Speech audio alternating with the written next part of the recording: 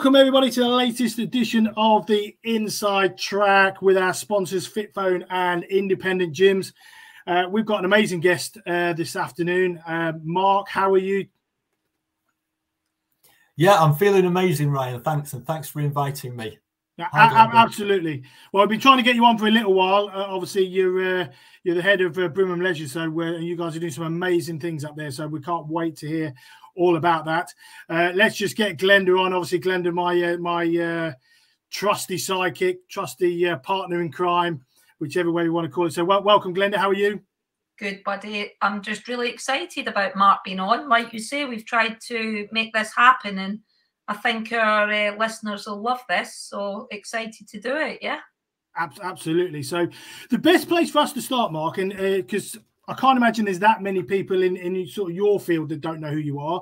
Uh, you're a bit of a superstar that way. But across the industry, it'd be, it'd be really good because we've got independent gyms that watch us and so on. So, do you want to give us a quick insight who who Mark is, what what his sort of career is, what's brought you to where you are now, and uh, and obviously who you're working for at the minute? Yeah, we'll do. And um, uh, yeah, th- thanks for flattering me there, Ryan. I, I, I do appreciate that.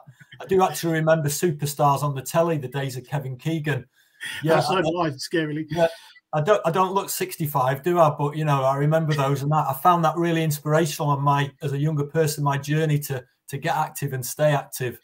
Wasn't it Daley like Thompson who used to win them every week? Oh, Daley Thompson and Brian Jacks with the oranges yeah. and doing all the dips. He was a legend. I loved it. Yeah, I can still. I've got the music in my head now. Da, da, da, da, da. Right, no, I'll have it for the weekend. That's not fair.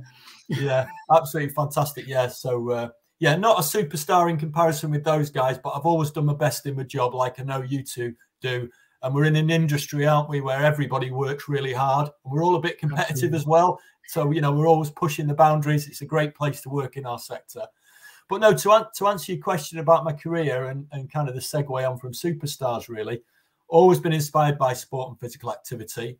I had um, I had an idea that I wanted to be a professional athlete, actually a triathlete. Uh, uh, oh wow! Yeah, uh, way back in the early '90s, and uh, so I decided to go to PE college because I thought that'd give me loads of time to train. um, so I, I, very soon found out that I was pretty good at triathlon, but not good enough to make a living. So, and then I thought, well, I need a career, so I became a PE teacher, and oh, I've wow. always been I've always been fairly useful. And I remember when I um, when I, I did six years at a PE college, uh, sorry, at, at Sixth Form College teaching PE, and I was about to leave, and uh, the, the the lady in the canteen said to me, "Oh." She said, I'm really pleased you're going. You finally got your A levels. It's taken you six years worth of research. she didn't realize I was a teacher. that, that's actually a compliment about your youthful skin, to be fair. Thanks very much, Glenda. Yeah, yeah, absolutely is. So I went on. I went on from PE teacher to be um, um, uh, a kind of part of the Commonwealth Games in a development role in Manchester, kind of, of the organising team there. And I'd, I, I'd intended to go back into teaching, so I did that major events kind of role, development work as part of a bigger team. Uh, and then I ended up going into sports development because they kept me on at Salford. So I was responsible for a couple of centres, some some some kind of delivery programs around getting people active. This is going into the early kind of noughties. Uh, and then I kind of fell into leisure in another job. That was at school sport partnerships in the days of Sue Campbell and all that school sport. And then I ended up in leisure uh, because I, I, was looking at a business uh, improvement program for for for for, for Tameside Sports Trust at the time. Ended up becoming chief executive there, changing it to Active Tameside, and then since then I've moved on um, um, for a couple of roles. I was at Community Leisure UK chief executive there for a short stint um, before realizing that my passion actually was running leisure organisations. So the job came up in Harrogate. Um, fantastic vision from the local authority in Harrogate. New model, local authority trading company, which is becoming more popular now as a model. And I mm-hmm. think you might want to ask me why that is, but I think there's lots of reasons for that. We'll definitely we'll definitely come back to that because I think it's a really interesting uh, development over the last uh, couple of years on that one. So we'll, we'll, yeah, we'll, we'll come back on yeah. that. Yeah. But the thing, you know, the job went out at Harrogate, and I've been there uh, just over two years now. And it was basically new company looking for a managing director, 40 million pound investment package. We want it to be about health. So, what's not to like? Straight in there, application in. Lucky enough to get the job, got the job. Oh my God, this is a big responsibility because the council have got massive aspirations here, you know, and it's a standing start. So great opportunity, but you know, big weight of responsibility. Yeah. What, what I did find was that the team of people that I'd inherited were absolutely fantastic. All leisure people, well-being people, you know, great track record. Um, so you know, it's been it's been it's been a, a, success story ever since. Really, it's still early days for us though. Did they take the um? So probably talk us through how, how how that was created then. So did they take the the old sort of leisure? Was that run by a, uh, a separate business? was it run by the council? How, how, what was it that you took over to make Brimham as as, as such?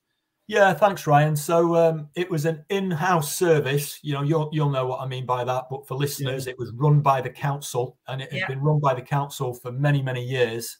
Um, and the council have been working hard to to to really get a consensus around an investment package. And then they wanted a delivery vehicle for leisure, and they looked at all the models. You know, they did a leisure review and said, you know, should we should we put it on the market and tender procure a mm-hmm. provider, mm-hmm. you know, and obviously then people like GLL or Places yeah. or everyone active would, would have bid. They decided not to do that. Should we set up our own kind of charitable trust or should we set up a, a local authority trading company? And they decided to go for that trading company. And that's what they did. So, that go on. Mark, I was just about to ask because you've brought it up, and I think it's important to actually describe why that is so interesting. And um, you can tell us a lot more about that in terms of the yeah. trading company. Yeah, thanks, Glenda. I will. I'd be delighted to. And um, I mean, I, have had experience of other models. So, you know, I've managed two of the trusts which have been independent, you know, mm-hmm. uh, and contracted with the council with a formal agreement uh, and pretty much been in charge of its own destiny as long as it delivers that council contract. Mm-hmm. The, the the the trading company model is slightly different because the council ultimately control the company. They are the shareholder. So the way it works is our board is made up of the majority of council appointed directors. So we've got 11 directors on our board. Six of them are council appointed. Whenever we make a decision at board, we've always got to have the majority of membership uh, from the council to be core mm-hmm. to make that decision. And who makes up the other six then, Mark? The other five. Oh, sorry, the other five. yeah. um, yeah, who makes up the other five? I'm, I'm, assuming obviously you. And is is that then a, a company decision? So it's people that you brought on. So you've got a mix of sort of you and then the council. Is that how it? Yeah. So so with it being a trading company, the council set it up with with articles of association, which basically yeah. is a governing document to say, right, this is how we want this company company to yeah. run. So they can vary in terms of the way council set them up. But before I answer your tw- question, the key rule is called the it, it, it's the kind of Teckal law, and that means you can you can you've got to operate at least eighty percent of your business within the geographic boundary of that council. Oh, okay. So you can't go out really yep. and bid on the contracts, because anything you know anything more than twenty percent, you know, you'd be breaking the law. You can't do that. Yeah it's very much about running the service for that council in that council geographic area and controlled by the council. So we've got 11, 11 directors, uh, six council, five are company appointed. And of yep. the five company appointed directors, me, managing director, so obviously I'm part of that board and can can vote and make decisions with that board. Yep. Uh, and I've got a, a, business development director and an ops director that are also registered with companies' houses directors. So that's three. And then we've gone outside to get expertise from outside, you know, volunteers. We don't pay them. Uh, yeah. So we've got two others that we appointed. So they're non-exec directors, yeah. Two they're non-execs. Yeah, they're non-execs. And yeah. if they came from the sector, or if you went a little bit broader, if they came from leisure, or are they from other sectors bringing different expertise? What what what's their uh, they're, they're, both yeah. passionate about yeah they're both passionate about sport leisure health one yeah. of them is you won't mind me saying is approaching retirement as a leisure leisure consultant Good. you probably know him it's steve laird right yeah yeah so steve started out his career um, in sheffield running yeah. ponds forge when it first kicked off and has had quite a kind of um, um, you know, a varied career as a leisure consultant. So, so, so getting him was a real coup, you know, and having him on board. And he's got a local interest as well because he's he's not from North Yorkshire, but he's from the northeast. He's a northerner, and yeah, yeah. Uh, Ryan, sorry, I'm not sure whether you're Midlands or the North, how you classify yourself, but I know Glenda is definitely a Northerner. But um, but she's too far. She's too far north. She's past the wall. She is. Uh, yeah. Technically, Midlands, Coventry. So yeah, yeah. I live in the north, so I'm allowed yeah. to. And we've got um, we've got Caroline, who's a who's local to Harrogate, but basically on you know when when when we got her in, she said, "Look, Mark, I've been a member of every single gym in Harrogate. Um, I'm a trained yoga instructor. I'm an accomplished businesswoman. You know, I'm a director on a board of, of, of, of a kind of uh, surveying firm and everything else. So she's very business minded from outside the sector, but she's. But that's what you need sometimes. Someone to give yeah. you that, uh, guys. Why are we doing this? Because it's very easy for leisure, leisure people just sit there, go, "Yeah, this is right. This is what we need to do," and then someone from the outside goes, "But why?" well, yeah. I just love that idea, the beginner's mind. You know, Suzuki saying that, you know, get back to beginner's mind, and it's amazing what you will learn with a fresh perspective. And I think that's great. I was, I guess, Mark, a question I'd like to ask you is because you've got so much experience with different models, what's been your experience of it being set up like that? And I guess, if you don't mind, like warts and all, the good, bad, and the ugly, what, how would you describe that in comparison to other models? What's that yeah. allowed you to do? Yeah, it kind of tracks back, I think, to to you, you, asked something previously, didn't you, about why you know why why did the council do this? You know, yeah. and that, that, comes down to you know, well, what's the advantage, doesn't it? Mm-hmm. Um, and I think what what what um, what happened during during COVID was obviously there was there was the there was the there had to be a hard discussion between operators and councils about who's going to cover the cost of this. Mm-hmm. You know, we've got a contract, we've got staff. You know, you know who's going to cover, cover the costs of COVID. You know, um, because uh, we've still got to keep you know these buildings maintained and open and everything yeah. else, even not open uh, operational, even though they're they're closed to the yeah. public. And there was lots of costs there, and um, some councils and operators, um, you know, that that proved to be a too difficult discussion.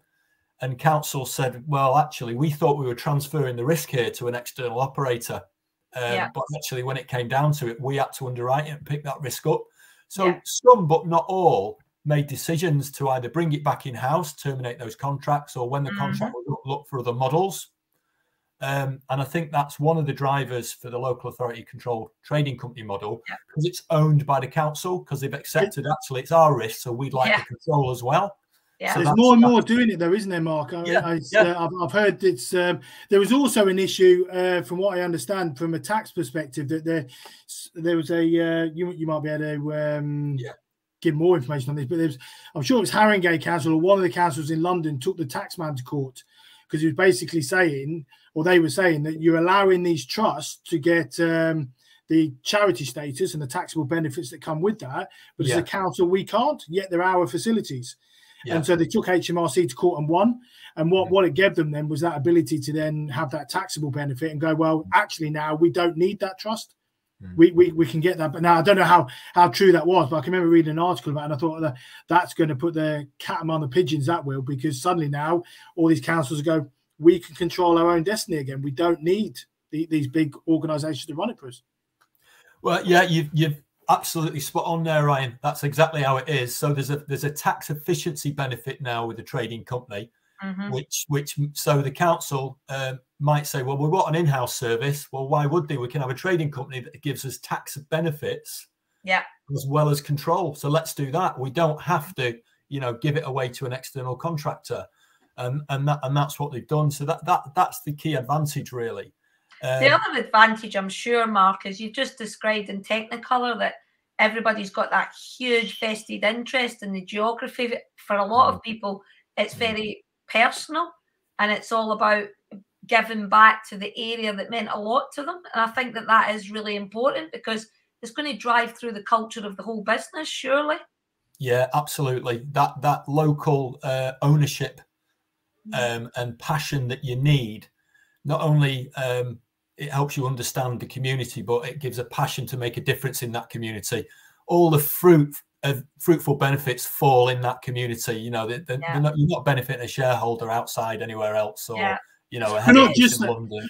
Well, exactly. I mean, you look at all these uh, big companies; they've got two or three hundred or whatever the sites they're looking after. There's no, there's no one going right. Okay, Harrogate needs this. Harrogate's.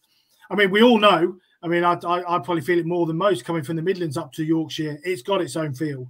the people of Yorkshire are from Yorkshire. You, you don't find them anywhere else. And so, how can you take a London attitude or uh, or from somewhere else and put that into Yorkshire and go, we know what's what's right for this community, where you guys can because it's run and developed and, and driven by local people. Yeah, absolutely, absolutely true. I mean, you know, you know, in our business that the people we employ usually come from the communities that they serve. Absolutely. So there's something there about those people really buying into a local company as well, and that the leadership and governance is coming locally. Yeah, it's good. It's good. I guess I'd love to know um, because we've seen so much chat and discussion since the recent challenges we've all faced in the sector about you know the ongoing challenges. But I just want to flip it a little and ask you what you see as the massive opportunity that's coming because you know it'd be lovely to think of the hope and optimism first. And I know we have got challenges, and I'd love to hear a wee bit more about that. But what's your thoughts, Mark? What's the big opportunities? Yeah, and um, this this gives me it's a great question because I can wax lyrical now about something I know you're very passionate about, Glenda, which is kind of health and well-being or wellness. You know, mm-hmm. and the same the same. I know you feel the same way, Ryan. And um, so when we set Brimhams up, as I said, you know, the council said we want this to be about health and well-being. So I came in and um, worked with the team to produce a strategy, um, and we've we've called that strategy uh, revitalize and reinvent. Mm-hmm. So we're revitalizing the stock with the capital investment and revitalizing kind of hearts and minds after the big shock of COVID. Yeah. And actually, we're reinventing the offer, and this is the opportunity which which I know you're driving hard and are passionate about, which is about moving from a conventional fitness or leisure operation to mm-hmm. one that's focused on health and well-being or wellness. So where we're, where we're at at the moment in our journey on that, and, and I know that there's others out there doing this, and and you know you've got a network and you're talking about this at you know well not just around the UK. I think I think you're talking about it around the world, aren't you? Mm-hmm. And um, where we're at on it, we're, we're kind of 18 months in to coming up with a new uh, service model. Uh, we've designed that model based on some principles that we want people to start with us, and we want especially people that haven't made a start before to come in. So how do we reach out? We want them to stay with us. So what do we do to help them stay? Well, yeah. what we need to do is is meet them where they are, set listen to what they want, have a coaching style conversation with them because there might be things that they need that they didn't realize. And yeah. by talking to a professional, having that coaching style conversation, they can do that. So invest in people at the start of their journey and have that really productive conversation because we can set personal goals and realistic goals. And if we're guiding them to deliver those goals successfully, we know that we'll stay and we want to connect them with other people in our community that have got similar interests, similar issues, similar challenges. And then we want people to succeed. And if we've got realistic goals, they will succeed. But we want regular conversations to say how you're getting on. And if you need to change course because the original goals were too high, let's change yeah. course, let's work with you. Let's not see that as failure. Let's see it as a developmental opportunity. Um, and then let's celebrate your success and lots of creative ways of doing that. So that's the principles. But we're doing it through different pillars as well. So we've stolen the NHS Five Ways to, to Five Ways to Well, yeah. which you'll, you'll be very familiar with.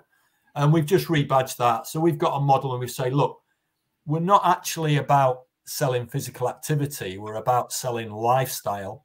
Yeah. And we don't sell gym memberships, we sell relationships. And we want mm-hmm. you to have a relationship with us and people in your tribe, in our community yeah. because we want you to stay with us through those principles. Mm-hmm. we've got movement as the core, or what we're calling a keystone habit, because that's our core offer. Yeah. Let's get you involved and let's be active.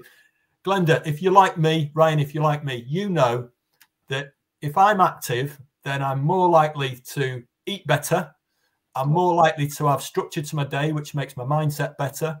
I can go and do it with other people, which is helps in my connection.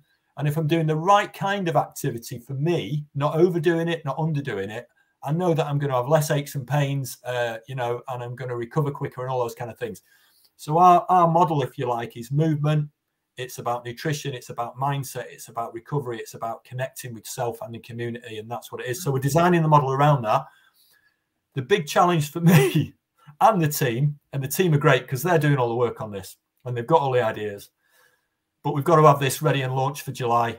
So, mm. um, so this is where I, it won't be perfect then, but it'll be work in progress, and that's what we're talking. I guess, I guess the nice thing is though, Mark. I, I was going to say maybe it's been a negative that you've not had your sites open so you can sort of go from idea straight to launch. But I guess in a nice way, and if you flip that the other way, you sort of you've not had these operational issues. Because quite quite often what happens is you try and develop something new, but you're still dealing with the crap. the, the club's open and you're developing that. So it takes longer. And then you end up putting little bits and taking tiny little steps.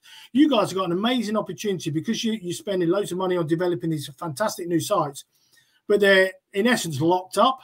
So you're yeah. creating all these great things to go, okay, we train all the staff, we get all this ready, we go into pre-sale and we sell our dream. And I think I think that's an amazing thing to be able to do in, in terms of taking a project right from the ground and going, it's almost well, it is brand new, but you've not you've not had the headaches of trying to run a club, run these sites and try bring in your new vision. You basically park the sites and gone, right, let's create the vision. And now we're going to just dump that in there or, or get it in place, get it ready, get everyone fired up.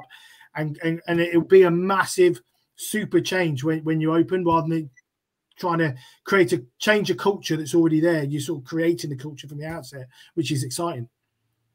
It's exactly like that. Yeah. So in many ways, um, we've got a period of time to get this right. And when we turn the key and open the front door on those two new sites we've got, you know, we'll be ready and we can get a great pre-sale. And you use the word sale, Ryan. So if you don't mind, I'm just going to pick up on that for a second. Because, you know, I did say before, you know, we're, we're selling behavior change, we're selling relationships but there has to be a price tag, tag to what we offer. You know, we can't offer it free, even though the council we work with wants to change lives in the community. Yeah. So we are non-profit, which is similar to the charitable trust. We want to make money in some areas and cross-subsidize elsewhere because we are socially entrepreneurial. But but we are we are have a clear mandate for the council to reduce the cost of operation. You know the council are not throwing money at this without a return. Yeah. They, they expect a return on health improvement in the community which ultimately will have a reduction in cost of health and social care. Absolutely. just quickly on that one mark yeah, we'll, we'll come back to that bit. Just quickly how how are you guys measuring that? So that that uh, i was going to ask that question. It's a fascinating one yeah, yeah. I mean, I mean, it's, it's, a brilliant thing to say. This is a the council want return on that, but how do you measure that? Yeah, it's a great question, and um, we are working that through at the moment. Okay. You know, so that we've got valid and reliable measurement. Mm-hmm. If we were having this conversation five years ago, we really would be struggling. But now, as you know, there are tools out there, quite yeah. well developed digital tools. You can do this, and we've got moving moving communities, for example. You know, so there's lots of social return on investment models that we can use, and we can mine our, our, our, our data, our participation data. We can reference that against postcode and, and where people start. And, and how incredible will it be able to have that information to go, look, this Absolutely. is what we've invested. These are the programs that we're delivering. This is our return. And this is what, because then it doesn't become a Brimham thing. Then it becomes a, a more national thing to go, guys, you run your project like this, and these are the genuine returns or the values that come come back to us. Yeah, I mean, absolutely. What, what think, sorry, go for it, Mark. I'll ask you in a minute. All right. But just very quickly, I think you know the the the measurement needs not just to be about how much active you get in people, you know, which is a quant- easily quantifiable output, isn't it? Well, it came so many yeah. times in the exercise, so many minutes. Yeah. It's actually what is the impact that that physical activity is having on that community and the individuals around Absolutely. the different domains, and p- particularly mental health is a key one. So you know, mental health. Um, well, that, that does interest me a huge amount yeah. because, and I want to just be a little bit challenging because I know, Mark, you're the guy that will rise to that. Like you will put us in our place, which we like. But sometimes the intention is good in our sector to do more than uh, fitness. And we have made massive claims in the past yeah. about uh, the well-being agenda as in you know we are really good at impacting people's psychological health we socially connect people and it goes on and did they really do that not convinced at times that we did and i think we missed a trick which is why i'm super excited and I guess my question there is threefold, really. And sorry if I'm barreling it up here, but um, I'd be really fascinated to understand why you guys absolutely wanted to go for that drive to wellness because, as I've said to Ryan, it isn't for everybody to do that, even if they're passionate about it. Because I think if you don't, if you just say, well, we just do fitness and you stay in your lane and you're very transparent about, what you do, there's a case for that as well. So you've deliberately went for wellness. I'm fascinated to know what got that over the line as the strategy. And what is that actually going to look like other than just the physical? Because I know it does absolutely where movement goes, energy flows, and that could be social energy, psychological energy. But on the ground, operationally, what will that look like other than just the physical that we'd expect? Yeah, thanks. There's a lot in that question, Glenda. So if I go off track a bit, bring me back on with a supplement. Yeah, that, I've got a wee habit of doing that sometimes where I sneak a couple in. Yeah. I, I, no, it's absolutely fine. And um, I, what I also know is that this is kind of these, these are kind of um, you know concepts that you've probably been mulling over your whole whole of your career and you've studied it as well. So, um, but um, yeah, I, I, think in a nutshell, for me, it's important for me personally because it's what gets me out of bed in the morning. If I was selling a gym membership, then you know, forget it. I'm not interested. You know, and actually, you know, the path of least resistance is to get a nice new building, fill it with lovely gym equipment, yeah. um, lovely, nice kind of um, you know promotion around a great Group X program oh, and all that. Get a great pre-sale, get a great marketing plan, and smash it. And people will come in their thousands to a new pool, to a new gym, yeah. and say, "Look, aren't we fantastic?" Great, and that's fine if that's a business model, and you can probably do that at a minimum cost because the asset sells itself. Yeah. You know, providing you maintain it over the time, and there's lots of nice gadgets and apps that people can have, and just say, "Look, you know, go for your life, get on with it, have a great time." That's brilliant you know, and we'll get we've got some good instructors here, and we we don't pay them very much, but they love the job. You yeah. know, and when they want to go on and get a mortgage and stuff, we know they're probably going to leave the sector because mm. they can't afford to do that job that they love on the pay that they've got. So we're not about that. What we're about is saying, yeah, we've got this lovely asset, we've got the shiny kit, we've got everything else, but we know our community partners. We're going to meet you where we are. We're going to look at these other domains. That's what Harrogate Borough Council wanted. But, and here's the but, and here's the challenge that I think where you were going for I know that my client hasn't got an endless pot of money. And they're going to say to me, Mark, first up, have you balanced the books? Yes. Right. Now talk to me about health and well-being. Yeah. Mm. And I'm sorry, but that's the hard truth. That is the harsh reality. Yeah. Economic climate. But I was just going to give you a quick but, and the but is that our business model is built around not around sales, it's built around, as you'll be familiar with, and this is your bread and butter, I know, Ryan, retention. Yeah, absolutely. How do you get retention? You build the relationship. How do you build the relationship with substance? You deliver what they want. And people want health and well-being now. They don't just want physical activity. Oh, look, I just I was too I didn't want to put my uh, thoughts before I heard yours, but we're yeah. so on the same page. Because yeah. what you're if I'm hearing you right, Mark, there's so many drivers there, isn't there? It's mm. like we know that that's what people now want yeah. because people understand that they don't need to run a marathon, but they want to feel better about yeah. themselves and yeah. be generally healthy. Um, the second one that I think is really important there is um, we haven't done an amazing job of retention and we have got attrition issues.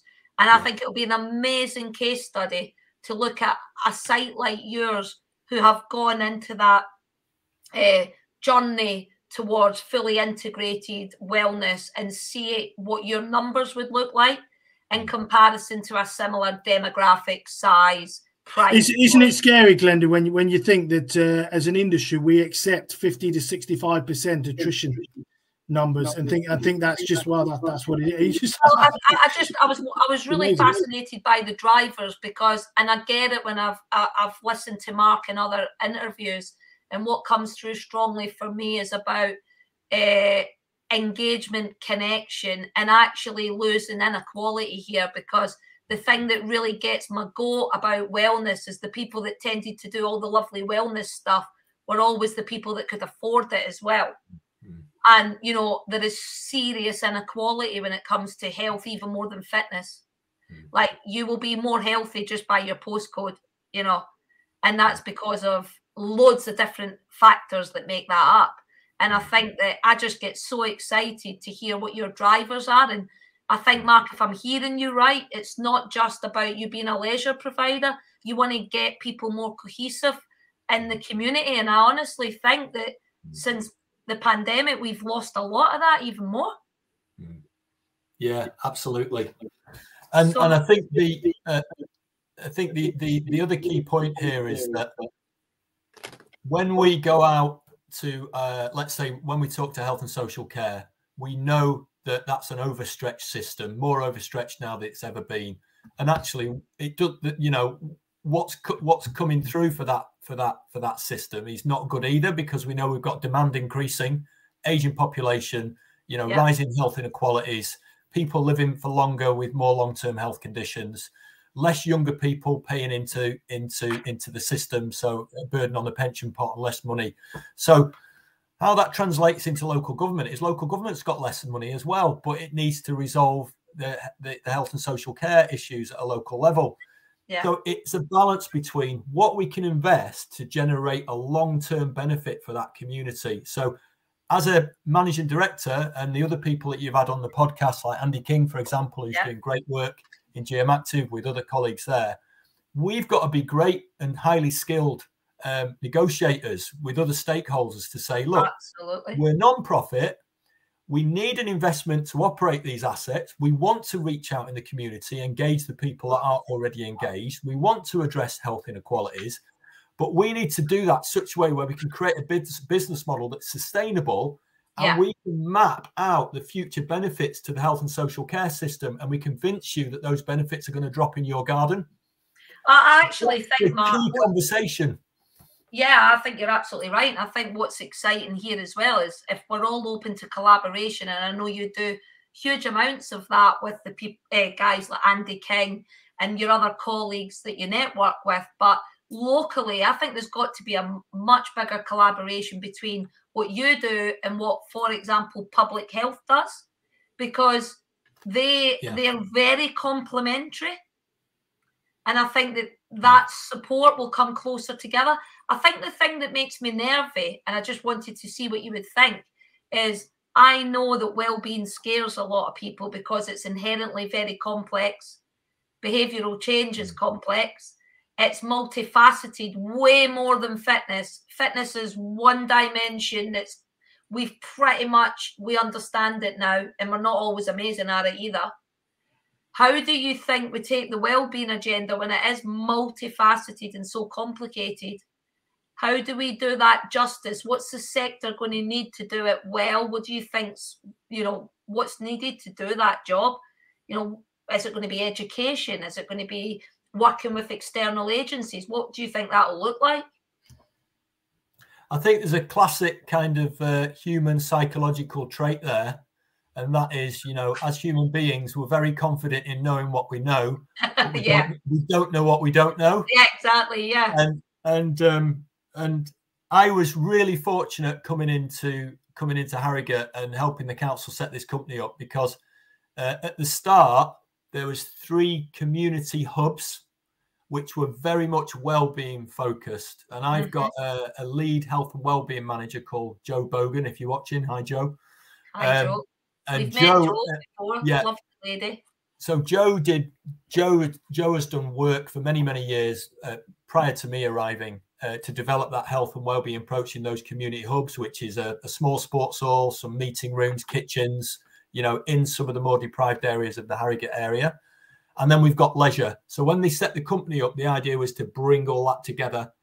So we've got the expertise coming from Joe in her team to to kind of infiltrate that standard leisure offer and harmonize it and take the best of both and create this new well-being. Yeah. So Joe and her team have got a great track record in the models that you'll be well familiar with, Glenda. And I think some yeah. of the things that you're referring to around the 12 week window of behavior change, the classic period, you yeah. know, and all the other elements. So Joe and her team are having very rich conversations with our duty managers and the other sites, with all the teams there saying, right, this is what you thought you knew, but you didn't, in the most sensible way. So, so there's going to be a lot of education, right? You know, yeah. and a lot of upskilling. Yeah, absolutely. There's a lot of upskilling, and you know what we want to do is create uh, career jobs and opportunities for people here.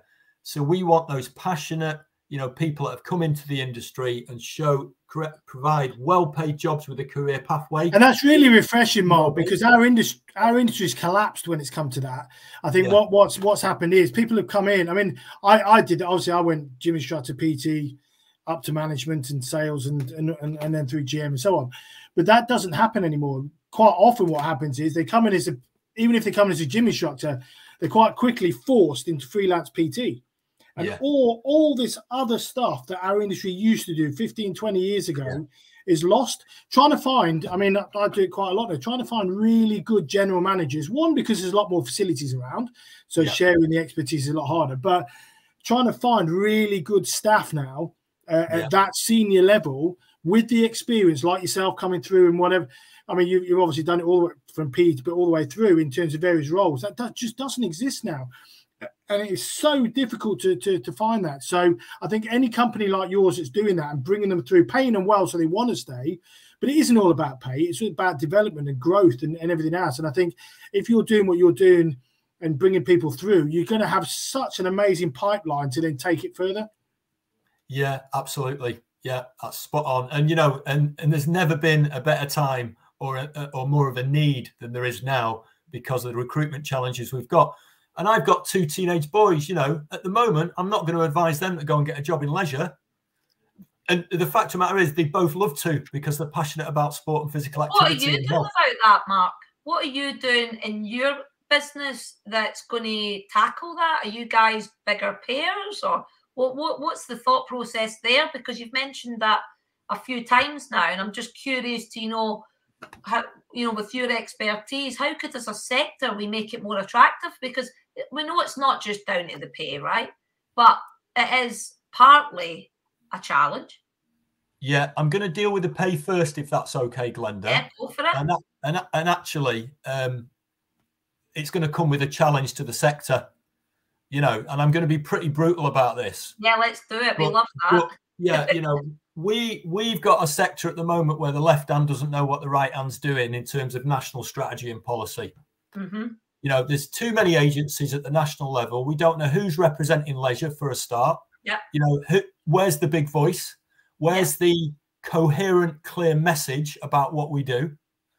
And and we know it's not working because you know we we haven't got any support and we're not we're not uh, classed as essential in terms of yeah. you know support for energy costs at the moment. You know over Absolutely. over kind of museums, you know, for example. You know, and we had a similar problem going through COVID. So well, that one comes back to the fact, Mark. Let's just touching on those because I'm quite vocal on that as well, as you've probably seen. But I, uh, I genuinely think we spend more time going with our begging bowl and saying yeah. we are, we are, we are, rather yeah. than actually proving we are yeah. and making them invest. Because I think if you carry on going, we need VAT discounts, please. We need we need money on our energy costs, please. And that's all we're doing. But we don't actually prove to anybody out there like you say, we've got too many organisations. UK Active, CIMSPA, I'll, I'll name them, Sport England, all, all these different, but they sort of work together, they sort of don't. UK Active is a membership organisation. It's not the industry body like everybody else out there thinks it is. So if you're not a member, they don't. They're not there for you. So they don't represent all of us. They don't. They, they, it is a close. Don't get me wrong. They do do some great stuff. I'm not. I'm not dissing them completely, but they're not there. They're not our industry representatives. Neither is CIMSPA, neither is Sporting. And it, it's sort of going, well, who does represent, like you're saying, who does represent all of us? And who's who's there to then drive us forward? And and at the minute, we're not essential. We're not seen as essential. It's quite clear the government don't see as, as any part of their plans as regarding improving health and everything else. And whilst we carry on as we are, we'll get the same results. We've been asking these same questions about VAT and all this stuff ever since I joined the industry, which is 25 years ago, and it was the FIA.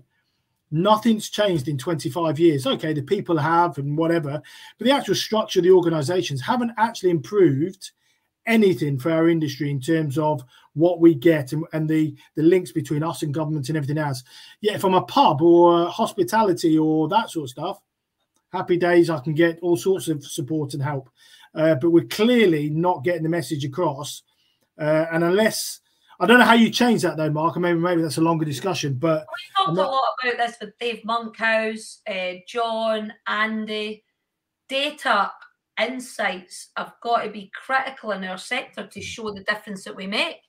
And that's why I want to keep flipping this to the positive. I'm so excited for the work that Mark and his team are doing because if they get data that can show us this is how you retain people, this is how you improve your attrition, and actually on all these health measures, this is the impact we have at our local level. That would be mega exciting. Like I want Mark to say to me three years from now, Glenda, the strategy that we used has increased life satisfaction in this part of our country by 2%, that would be something that, that would make me want to read more.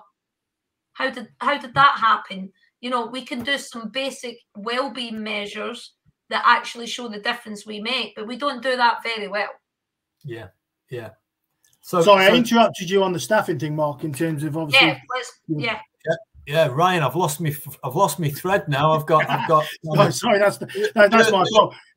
Early onset of amnesia. No, I haven't. I can go back to that, and I'll come back to the data one. But coming back to the first question about um, how we're going to do it, and and I said I wanted yeah. to deal with pay first, and I started to talk about you know the national institutions.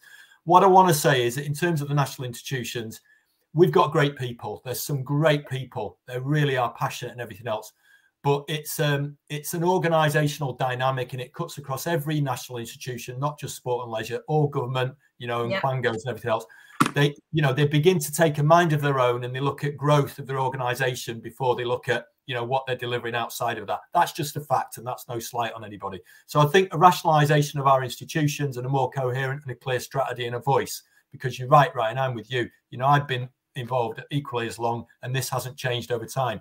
And the other thing that hasn't really changed significantly is how many more people were getting active. So you know what?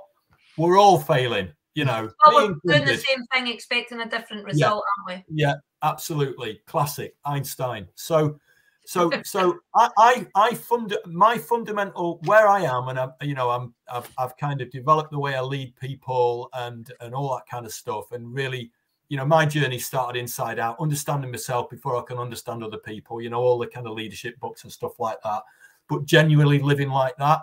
And I think what I realized was that, you know what, it doesn't matter what you want to do unless you've got the right people in the right places with the right conditions, you ain't going to do anything. So you can write whatever strategy you like, you can do whatever you like. It is not going to happen. It is all about the people. What do people need? They need they need a secure job. They need a reasonable level of pay. They need to be looked after. They need to be developed.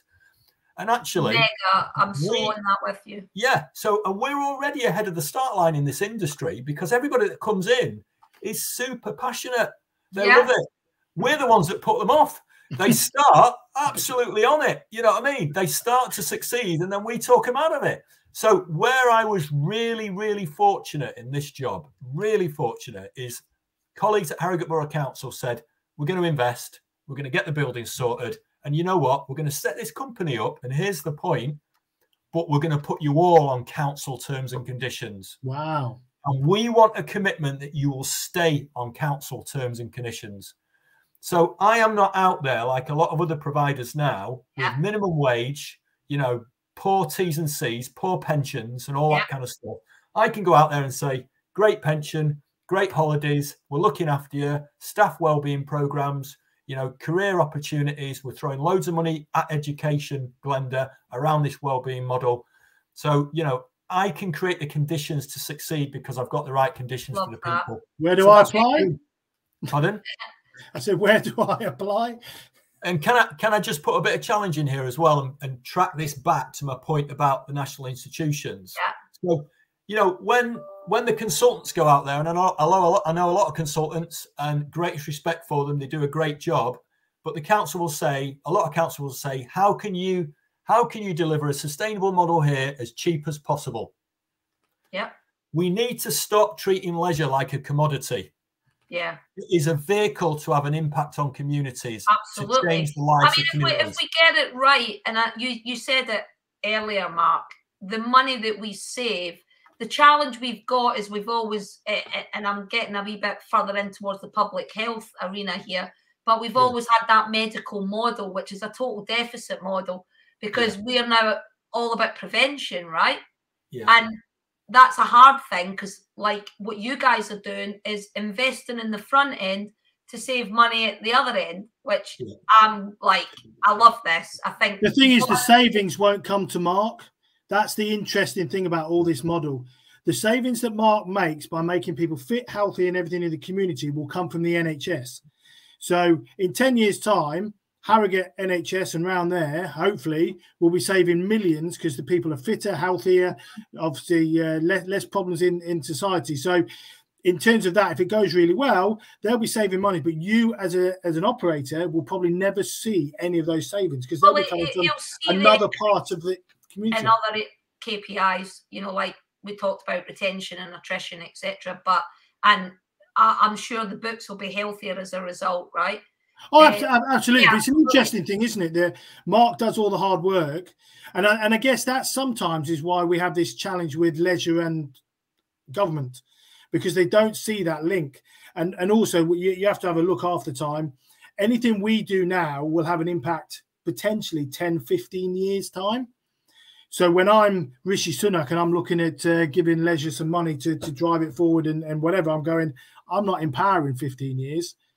It doesn't, it won't impact me. It won't impact me at the next election. Why would I do it?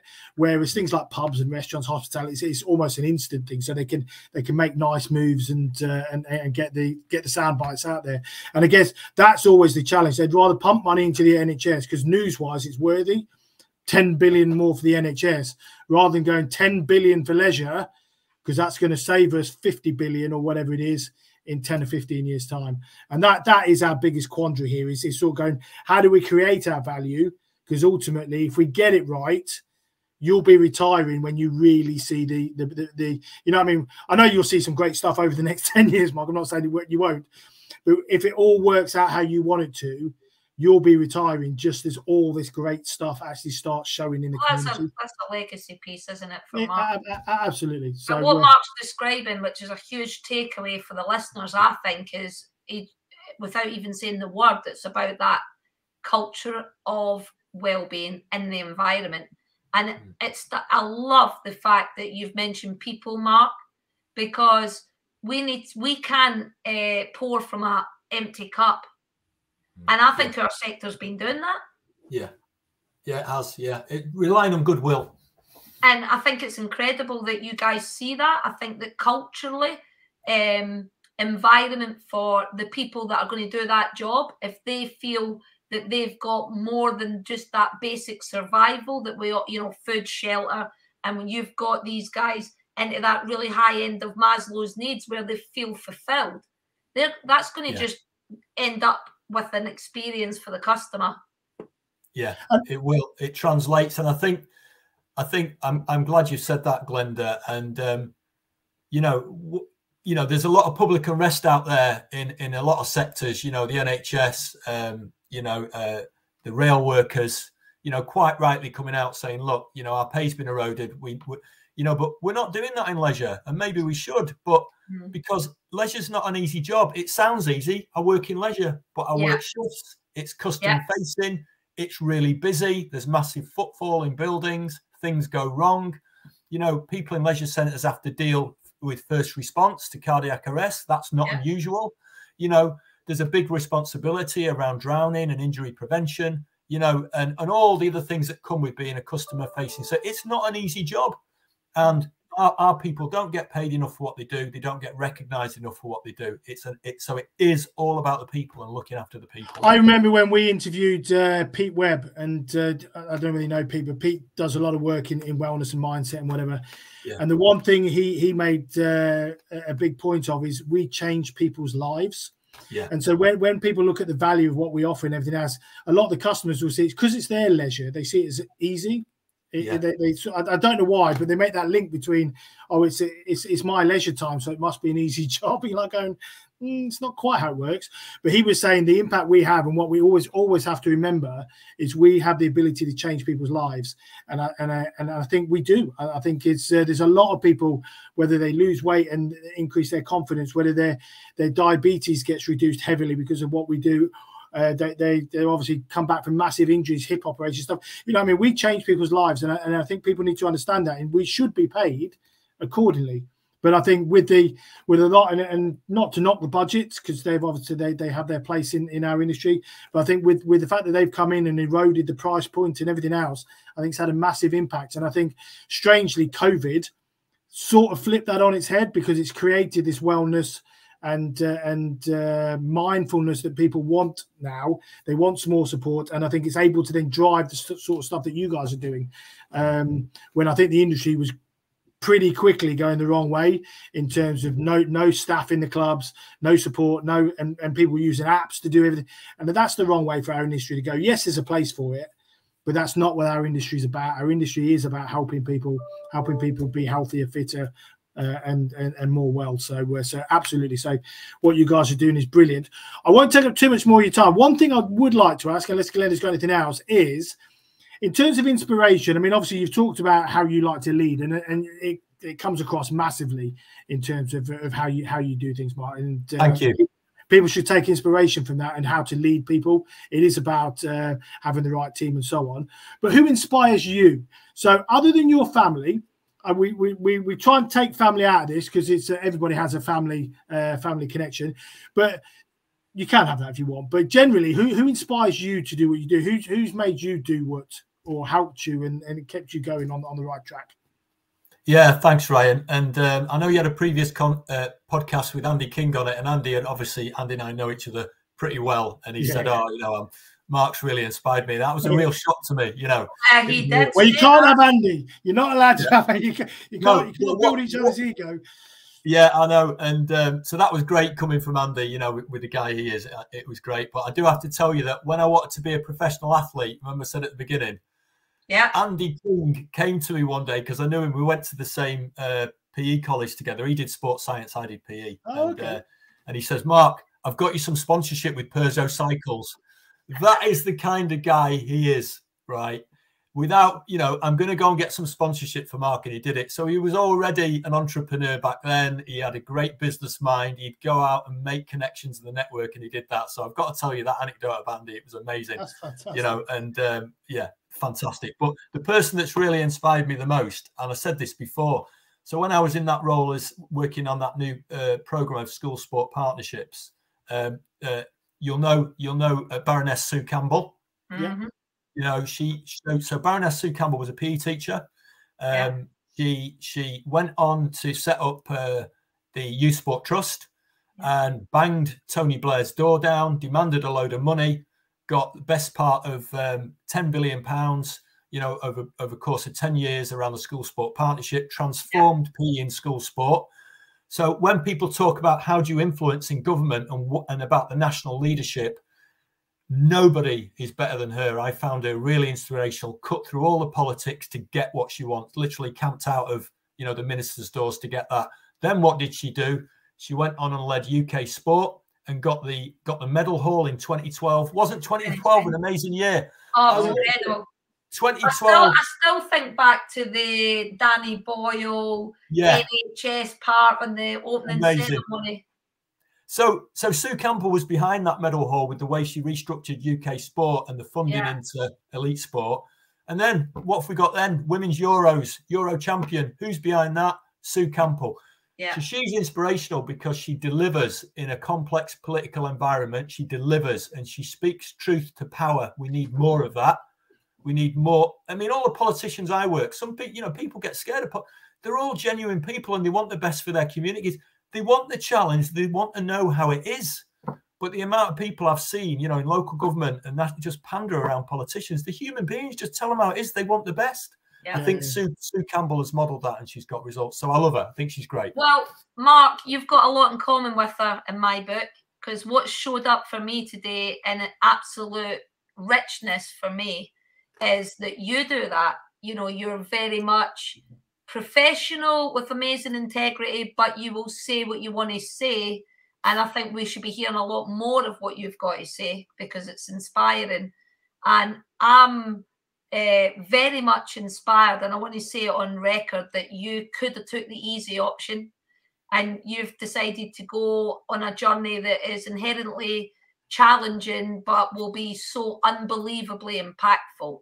And um, I, I just take my hat off to you, and I want to thank you for pushing that agenda because I think that our sector's needed it for a long time, and we need someone to shine the light on and have a torch that we can look at and go, well, if they can do it, so can you. And uh, I think that's the point, isn't it? Someone needs to prove the model. Yeah. And uh, you, know what I mean? So if, if you can prove that model, because the thing is, it's, it's all right doing it in a, in a leisure trust and stuff like that. But what we need to do, we need to get the private ones to go look at you guys and go, do you know what? That can work. That's actually financially viable. Because a lot of them are looking and go, wellness. Let's just stick to fitness. Let's just stick to because I can make my like you said earlier, we can get a nice nice club with shiny kits, sell some memberships, bang it out, make some profit. But what we need to do is get these guys to start looking at it and going, actually, look, look what those guys are doing at Harrogate. They've, they've got this wellness model that's integrated. It's got all this great stuff. This is what they do. And guess what? They make profit. they actually make money. Um, and I know you're also non-profit. So said it earlier, it doesn't that that's not proved to go as any further towards upping that magic figure that everybody keeps talking about that's never raised in 20 odd years. We're not going to push that dial any further because there's only a certain percentage of people in any population that are ready to sweat like crazy uh, and start with fitness. It might be that they start with something that resembles just really, really informal exercise, or it could even be non exercise and it could be something in the well being um, arena that then gets them interested in exercise. Absolutely. So I think the key is we could probably speak to you for another hour, Mark, because there's so much stuff. So we will definitely get you on again. And I think what we'll do is we'll get you on again, and maybe even we'll come and do it at your one of your sites. I think that'd be quite quite. Once you're open and it's all running, we'll bring the uh, we'll bring the kit and we'll we'll, we'll come come and do it on site in Harrogate because I think that'd be a really really nice thing to do and show off what what, what you guys have done. If I could just say, I would absolutely love that and welcome that. So book us in for after September, and we can do it on site and talk about the new offer. That'd be awesome. And I know we're going to speak, uh, you know, between now and then. We've got lots of other things to talk about offline. And can I just say thank you both for the opportunity and also what you just said there, uh, Ryan and Glenda. Um, gives me a lot of reassurance because I know you know the scale of the challenge that and, and what it must be like, you know, it, it, to be yeah. somebody that said, right, we're going to transfer, we're going to convert this model. It's yeah. it's not going to be easy. We're not going to get it all right, but we're good. but you know what I mean. You you said, Glenda, you've said actually, Mark, ten out of ten for having a go. You know what I mean? We're right behind hey, you. By the way, if I'm going to put my money on any horse, it's definitely you, Mark, oh, because you've got inspired leadership, and um, I actually think with uh, starting with culture and mm. environment, you then get an inertia. And I know you're going to get that. And it'll be with huge amounts of will that uh, I think your team are going to be behind you in that mission. So thank you. And um, we wish you the very best of luck. And we're excited for all of you. I think um, amazing to hear what you're doing. And thank you. Amazing. Absolutely. What what we will do, uh, obviously, as always, to, to our listeners, if anyone does want to reach out to Mark, you can find him on LinkedIn. Uh, he's he's uh, quite active on LinkedIn, yeah. and uh, and we'll put obviously any of the links to uh, to Boom Leisure and so on at the end, so people can reach out there. But really appreciate your time today, Mark. Uh, obviously, we will catch you over the next few weeks anyway. But but thank you very much for coming on, and we will see you soon. Yeah. Thanks, Ryan. Thanks, Glenda. Bye bye. Take care. Thank you.